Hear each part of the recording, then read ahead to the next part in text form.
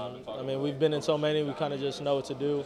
Um, being in a late game situation, we kind of just try to stay calm and just run, uh, uh, run whatever and get a good shot. They sagged off, so I kind of just went left and uh, they kind of stayed with our shooters. So um, I try to get up a good shot.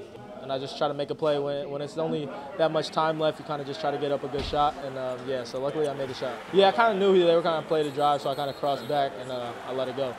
How did it feel when you went in? Uh, felt good. I, I kind of knew it was going in as soon as I let it go. So I don't know if we, we like to do it just to give the coaches a little heart attack or the fans, whatever it is, or even each other. I mean, we we're coming down to this close stretch and we're figuring out how to win games. So I mean, we'll, we'll take it. Any learn, any, any lesson is a learning lesson. So I mean, we, we were getting good looks early.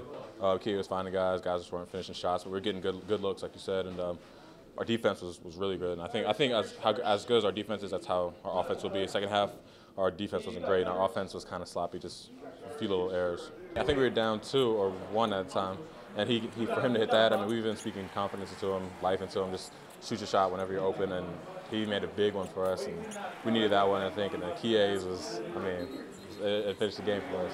Um, coach, it looked like coach wanted to call timeout, but uh, we just in late situations, you just play basketball, It's just playing. And um, me and Mamadi came up and set a horn screen for Kie just to let him get downhill. We know how fast he is, and if they got the switch, they him on a big, we'll take that matchup anytime. And then me or Mamadi on a guard trying to get the rebound. So um, he made a big shot. They didn't switch, and uh, the guy was playing off of him. He hit a big shot. Huge. I mean, it's so much trust. We just believe every shot's going in, every, and we get mad on each other. We get on each other if guys don't shoot the open shots and uh, shoot, feel that they can't make it. So.